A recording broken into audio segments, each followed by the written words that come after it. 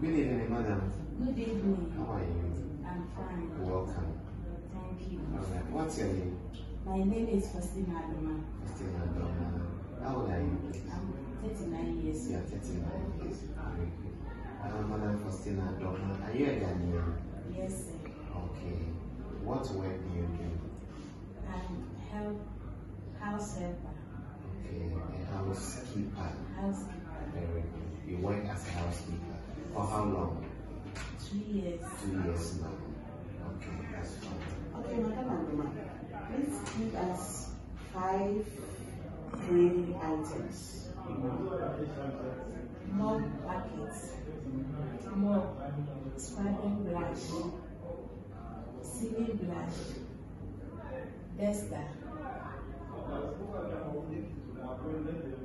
Liquid soap.